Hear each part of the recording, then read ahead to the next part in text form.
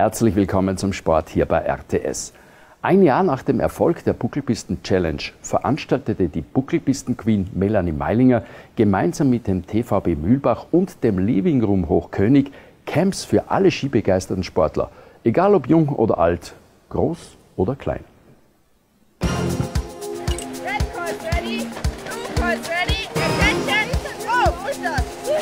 Bei den Buckelpistencamps in Mühlbach am Hochkönig ist jeder herzlich willkommen, egal ob blutiger Anfänger oder anerkannter Freestyle-Profi.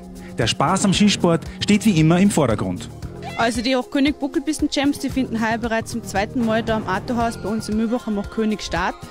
Unser Ziel ist es eigentlich, dass wir die Kinder und vor allem die Leute in unserer Umgebung in Salzburg ein bisschen näher bringen, was die Sportart Buckelpisten wirklich ist und das aber auf eine Art und Weise, was mit Spaß verbunden ist und wo nicht der Wettkampfgedanke dahinter ist, sondern wo man einfach die Leute sagt, um was das es geht und die das probieren können und dann selber entscheiden können, das taugt gerne und das taugt gerne nicht. Die Fortschritte, die die jungen angehenden Buckelpistenfahrer und Fahrerinnen an diesem Tag mit professioneller Anleitung und guten Tipps machen, sind enorm.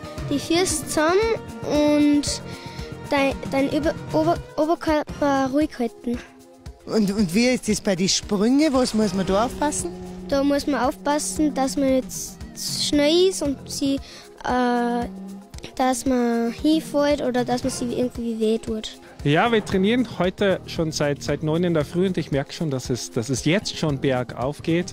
Sie werden einfach schnell in den Beinen und das ist ganz wichtig. Ob Sie jetzt einmal auf der Piste fahren, im Slalom oder im Wald, ähm, Sie werden halt viel schneller in den Beinen und das, das es macht einfach mega viel Spaß. Also das Und dass es wirklich mega viel Spaß macht, haben uns die jungen Teilnehmer auch bestätigt.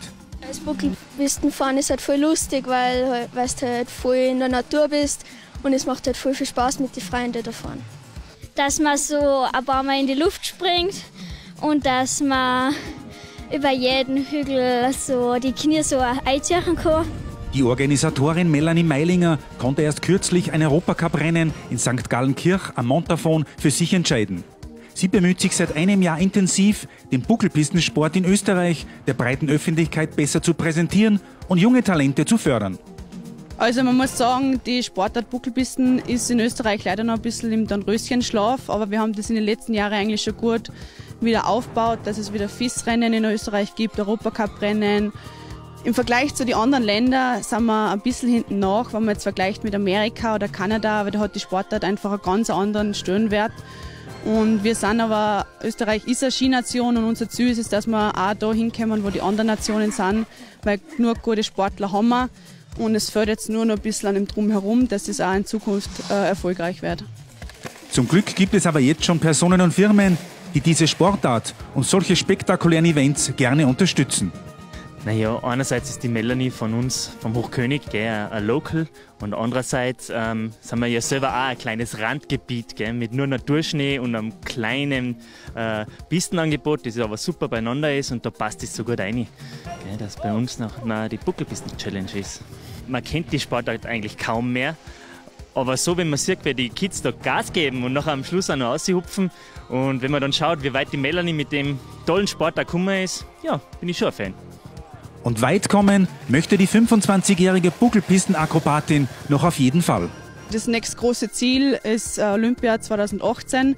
Da haben wir eigentlich äh, von Anfang an hingearbeitet und das wird auch jetzt in den nächsten Jahren noch so sein, dass das das große Ziel ist.